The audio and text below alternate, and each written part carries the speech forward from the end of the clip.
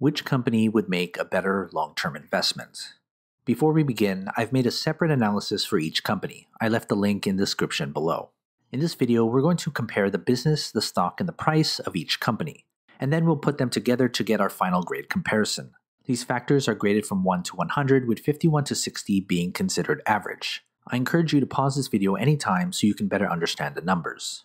Let's first look at the business. The business examines the company's fundamentals to see if it's actually worth owning. And here are the business grades for both companies, which tells us which is the better business.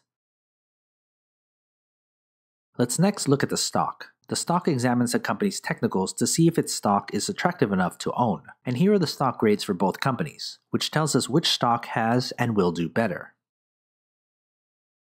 Let's then look at the price. The price examines the intrinsic value or fair value price of the stock.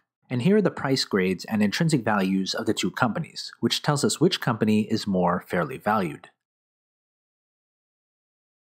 So before we get our final grade, consider becoming a Growth Shares patron and get access to my spreadsheet with every grade from every company I've analyzed. It's updated all the time. Head to patreon.com forward slash growth shares or click on the link in the description. Let's put our three factors together to get the final grades for both companies. Here are the final grades for both companies, which tells us which company is a better overall long term investment. This analysis uses public financial data and a proprietary algorithm to come up with the grades. But what are your thoughts? Do you agree? Comment below. Want to talk business? Email me and follow the instructions on the screen. Invest wisely, and as always, take care of your money.